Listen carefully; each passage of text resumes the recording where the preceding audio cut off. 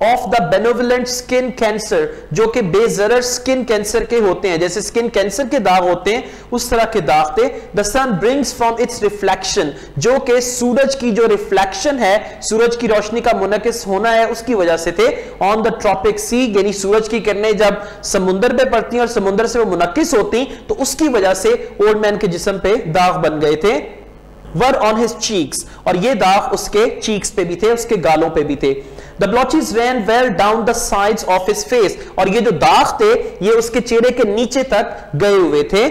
And his hands اور اس کے ہاتھ ہیڈ دا ڈیپ کریزڈ سکارز اس کے ہاتھ میں گہرے زخم کے نشان تھے۔ سکار کہتے ہیں، زخم کے نشان کو کریزڈ کہتے ہیں جیسے ہاتھ کی لکیریں ہوتی ہیں نا۔ اولڈ مین کے ساتھ کیا ہوا کہ اس وہ ہاتھ میں رسی پکڑتا تھا۔ اب وہ رسی پکڑ پکڑ کے اس کے ہاتھ میں سکارز بن گئے، زخم کے نشان بن گئے۔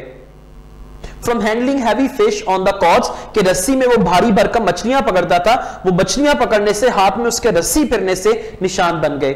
But none of these scars were fresh لیکن یہ زخم کے نشان تازہ نہیں تھے۔ تازہ کیوں نہیں تھے؟ اس کو 84 ڈیز ہو گئے تھے مچھلی پکڑے بغیر۔ تو اسی لیے یہ زخم کے نشان تازہ نہیں تھے۔ They were as old as erosions in a fishless desert. اور یہ اتنے پرانے تھے جیسا کہ کوئی کٹاؤ ہو کسی ایسے صحرا میں یا ریگستان میں جہاں کوئی مچھلی نہ ہو. مطلب بہت عرصہ ہو گیا تھا اس کے ان زخموں کو. یہ پرانے زخم تھے اس کے.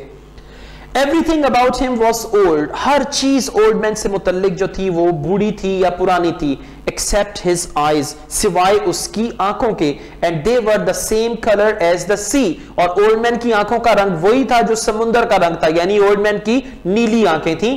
And were cheerful and undefeated. اور اس کی آنکھوں میں ایک خوشی تھی اور اس کی آنکھیں ناقابل تسخیر تھیں یا اس کی آنکھیں ناقابل شکست تھیں. اب سب کچھ پرانا تھا، سب کچھ بوڑھا تھا، سب کچھ شیبی تھا، لیکن اولڈ مین کی جو آنکھیں ہیں، ان کا رنگ سمندر جیسا تھا اور اس کی آنکھوں میں امید تھی، اس کی آنکھوں میں فتح تھی، اس کی آنکھوں میں کامیابی کا ایک خواب تھا اور اس کی آنکھیں جو تھیں وہ ناقابل شکست تھیں۔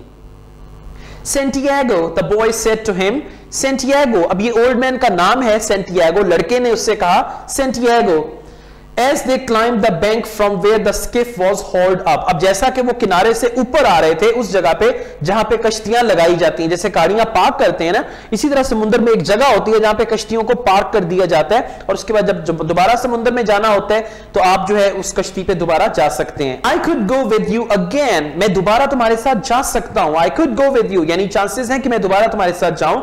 We've made some money ہم نے کچھ پیسے کمائے ہیں The old man had taught the boy to fish کہ بوڑے آدمی نے اس لڑکے کو مچھلیاں پکڑنا سکھایا تھا and the boy loved him اور لڑکے کو اس بوڑے آدمی سے بہت محبت تھی No the old man said بوڑے آدمی نے کہا نہیں You're with a lucky boat تم ایک خوش قسمت کشتی میں ہو Stay with them انہی کے ساتھ رہو But remember how you went 87 days without fish اب سے لڑکا کہتا ہے کہ آپ کو یاد ہے کہ کس طرح آپ ایک دفعہ ماضی میں ستاسی دن تک بغیر مچھلی کے رہے تھے and then we caught big ones every day for three weeks اور اس کے بعد ہم نے تین ہفتوں تک مسلسل بڑی بڑی مچھلیاں پکڑی تھی اب یہاں پہ کیا ہے؟